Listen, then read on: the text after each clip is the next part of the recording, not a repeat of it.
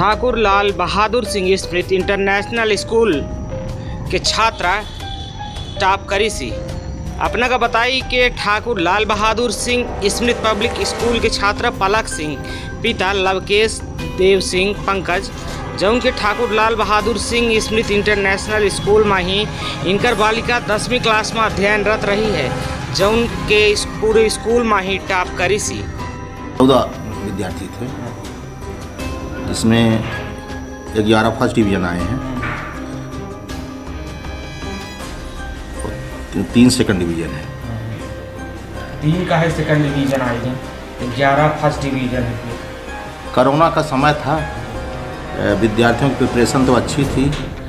हम लोग भी तैयारी किए थे। समय थोड़ा कम था उतना बच्चों को नहीं पढ़ा पाया जितना पढ़ाना चाहिए था। बहुत अच्छा रहा जो तो प्रयास किया है नई स्कूल थी उस हिसाब से प्रयास किया गया है। आगे और अच्छा करेंगे। कब से स्कूल संचालित यही विद्यार्थी प्रेरणा होंगे। और ये स्कूल संचालित हो रही है अठारह जुलाई अठारह से। जिस तरह से विगत दो वर्षों में शिक्षा का स्तर कोरोना काल में बहुत ज़्यादा गिरा है और इसके बावजूद भी यदि विद्यालय इस तरह का हंड्रेड परसेंट रिज़ल्ट ला ला रही है तो क्या कहेंगे? आप और क्या कहेंगे? हम सिर्फ़ इतना ही कहेंगे कि हमारे शिक्षकों ने अच्छा प्रयास किया है कम समय में और दूर से निरंतरता बनी रही है। बच्चों से विद्यार्थियों से कोरोना काल में भी हमारे शिक्षक कई शिक्षक खास पर योगेश्वर सर वगैरह काफ़ी संपर्क में थे और ऑनलाइन पढ़ाई भी जारी रखते थे। और जितने बच्चे संपर्क में थे वो पढ़ते ही थे जो नहीं पढ़ते थे उनके घर में भी संपर्क किया जाता था। और और शायद जी? मीडिया के माध्यम से कुछ और कहना चाहते हैं विद्यालय के बारे में? मीडिया के माध्यम से बस एक ही चीज़ कहना चाहते हैं कि इनका भविष्य उज्जवल हो और स्कूल इसी से प्रेरणा लेके और अच्छा रिज़ल्ट देने की कोशिश करें और मीडिया के समक्ष और अच्छा रिज़ल्ट हम दे पाएँ। ये भविष्य में हमारी यही इच्छा रहेगी यही प्रयास रहेगा।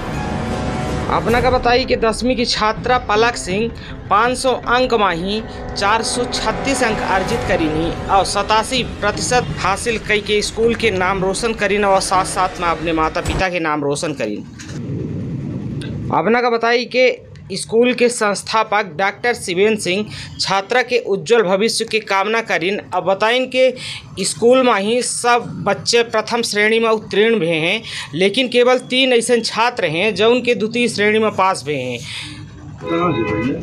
अपना का बताई कि छात्र पलक सिंह, मीडिया से बातचीत के दौरान यह बताइन कि एमा ही हमार पूर्ण सहयोग, हमार क्लास टीचर योगेश सर करीनी, और हमार परिजन करीनी। पलक के क्लास टीचर द्वारा कहा गया योगेश्वर सर बताइन कि कोरोना के संक्रमण काल के दौरान कौनो दिन ऐसा ना गा हो कि जौने दिन बच्ची ऑनलाइन क्लास ले से चूकी होए। तो निश्चित रूप से यह में के मेहनत करे वाली बच्ची के कहाँ न कहाँ रिज़ल्ट अच्छा अवबे करी। आई अपना की बातचीत हम स्कूल में जौन छात्रा टॉप करी सी पलक सिंह उसे करवाई थे और उनके क्लास टीचर से करवाई थी और जानी थी कि का कुछ कहा है क्या है बेटा आपका? 87.20 कैसे पढ़ाई करती थी आप?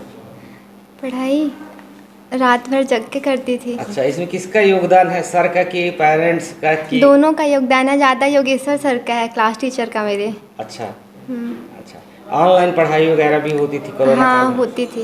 अच्छा। तो आप पूरी क्लास लेती थी ऑनलाइन हाँ मैं लेती थी क्लास। पढ़ लिख के आपकी कुछ ऐसी उम्मीदें होंगी कि आगे आप क्या करना चाहते हैं? हाँ मैं मतलब कि इलेवेंथ में बायो लेना चाहती हूँ उसके बाद नर्सिंग करना चाहती हूँ। लगभग हंड्रेड परसेंट रिज़ल्ट है तो कैसे आपने बच्चों को पढ़ाया कैसे मैनेज किए ये सारी चीज़ें की? बच्चों का रिज़ल्ट है बढ़िया आया स्कूल के लिए। जी जैसा कि हमारे डायरेक्टर सर ने बताया कि कोरोना का समय चल रहा था। और कोरोना के कम समय में जितना अधिक से अधिक हम लोग मतलब विद्यार्थियों को अपना ज्ञान जो हमारे अंदर है वो देने की कोशिश कर रहे थे और जैसे पलक का रिज़ल्ट बहुत ही अच्छा आया है तो उसकी मेहनत भी कहीं ना कहीं थी। साथ में सभी शिक्षकों का एक सही दिशा निर्देश था और उसका उसने सही ढंग से पालन किया और परिणाम आपके सामने है। बिल्कुल लेकिन तीन बच्चे जो सेकेंड डिवीज़न हो गए उन पर क्या कहना है? ये तो फ़र्स्ट डिवीज़न है बहुत अच्छी बात है। जी, जी, लेकिन कहीं ना कहीं वो तो पढ़ाई में कोताही कर गए बच्चे। हाँ कोशिश हमारी वहाँ पर भी थी कि हम वो जो सेकंड आए हैं तीन तो वो भी सेकंड ना आए। बट जैसा कि हम जानते हैं कि एक हमारे यहाँ तो पाँच उंगलियाँ होती हैं तो पाँचों बराबर तो नहीं हो सकती हैं। शिक्षक का निरंतर प्रयास रहता है कि हर कोई अच्छा परफॉर्म करे अच्छा करे। अ, लेकिन कुछ लोग ज़्यादा ध्यान दे पाते हैं उनके पेरेंट्स भी पेरेंट्स की भी भूमिका अहम होती है क्योंकि पेरेंट्स भी बच्चों पे फोकस करते हैं ज़्यादा। और टीचर निश्चित तौर पे फोकस करते ही हैं। और कुछ कमी रह गई है जो कि आगे आने वाले समय में हम उसको दूर बहुत करेंगे। अच्छा योगदान रहा आपका। बहुत बहुत धन्यवाद। जी